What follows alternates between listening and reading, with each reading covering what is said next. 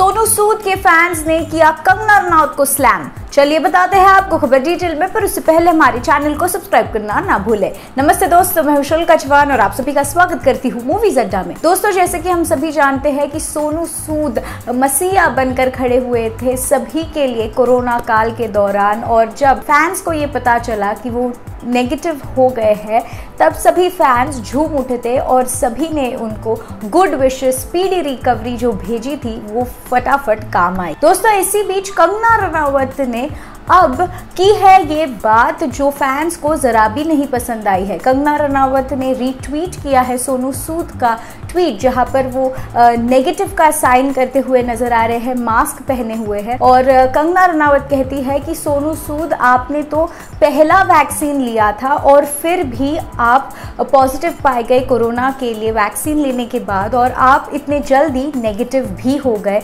और लगता है कि अब आप वैक्सीन का प्रमोशन कर रहे हैं। भारत के जो वैक्सीन्स है, वो डेफिनेटली काम कर रहे हैं। इस बात को सुनते ही फैंस जो है, उन्होंने स्लैम किया है कंगना रनावत को, क्योंकि उन्होंने जो बात कही है, वो फैंस को जरा भी नहीं आई है पसंद। दोस्तों, आपकी क्या राय है, बताना ना भूले। We are waiting to hear you this is शुल्का Chauhan signing of